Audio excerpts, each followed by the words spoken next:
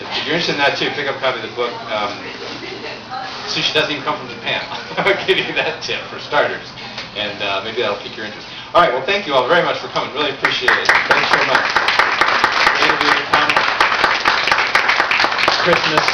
We also have copies of my other book, The Secret Life of Lobsters, here, thanks to the store. And uh, if you want a little, you know, under-the-cover reading with a flashlight filled with sex and violence, I recommend you pick up that book as well. Lobster Life on the Ocean Floor is a very entertaining soap opera. Have I have I crossed over the line of decorum?